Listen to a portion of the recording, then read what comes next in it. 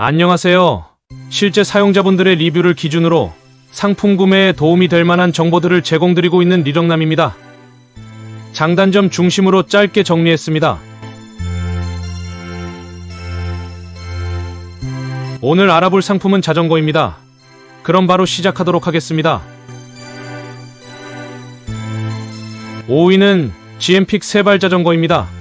성인용 세발 자전거로 염려 없고 매우 넉넉한 수납 공간이며 어르신 선물용으로 좋습니다.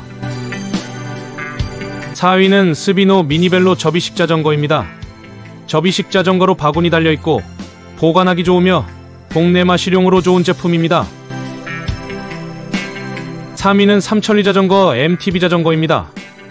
가장 많이 팔린 자전거로 삼천리로 내구성 우수하고 완전 조립되며 기본에 충실한 자전거입니다. 2위는 모토벨로 전기자전거입니다. 전기자전거로 근거리 출퇴근용으로 좋고 다양한 색상 선택지 있으며 배터리 분리 없이 충전 가능한 제품입니다. 1위는 알톤 스포츠 MTB 자전거입니다. 가장 리뷰 좋은 자전거로 자전거 입문용으로 좋고 내구성 우수하여 오래 사용 가능하며 27단입니다. 시청해주셔서 감사드립니다. 구독과 좋아요 감사드리고 오늘도 즐거운 하루 보내시길 바랍니다.